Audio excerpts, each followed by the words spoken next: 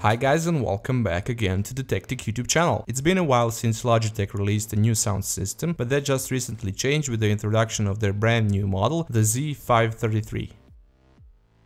This one falls into their more premium product segment, especially if we talk about 2.1 audio systems for PCs. You can see right from the picture on the front of the box that this model looks a bit more elegant with some golden highlights on the satellites. On the bottom part you can see with what power we are dealing here and that's a total of 60 watts RMS or 120 watts in peak. Back of the box reveals a detailed overview of features for the Z533, of course some unavoidable marketing jibber jabber along with it, as well as a notion of what this model offers in terms of audio inputs and connections. Opening up the box, you can see that everything is packed really tightly without a proper protection padding, and that's not a desirable observation for a heavy product like this one. We are telling you this as we witness our box coming in damaged from the courier in one of the corners, but fortunately everything was fine with the product. Moving on, here we have the wired controller, in this separated box we have some user manuals alongside of the right and left speakers.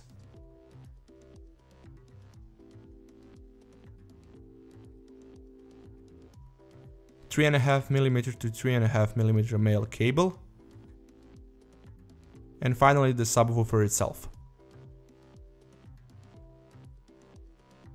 The overall construction design of the new Z533 is pretty usual in this 2.1 audio system segment, but beside that fact Logitech definitely went in a completely new direction in terms of aesthetics and in comparison to previous models. Here we are witnessing a very simple and straightforward design with some subtle details which makes it different from others.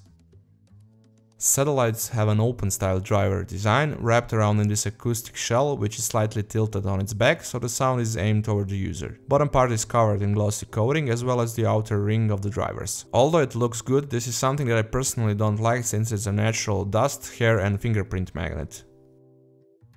The subwoofer's front is covered in this big cloth-like mesh, while the rest of it is also covered in black color with some glossy coating on the bass reflex port. On the back of it you'll find your usual set of connections, pretty much all of them being RCA jacks for external inputs and satellite outputs, and alongside of them an external 3.5mm input which we used in our case. For controlling the sound, the Z533 comes in with a stylish integrated remote on which you'll find a big volume knob, bass volume slider and jacks for aux in and headphones output.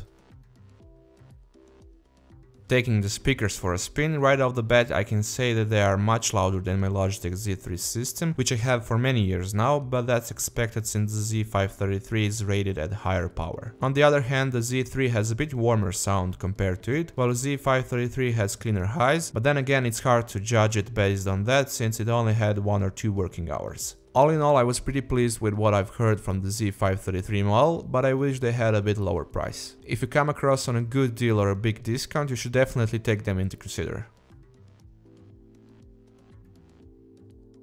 Thank you once again guys for checking out our unboxing and review of the Logitech Z533 audio system. Feel free to give us a thumbs up if you like this video, leave a comment down below if you have any questions about the product, and of course if you would like to see more content like this you can subscribe to our TekTick YouTube channel or you can check out our other videos from before.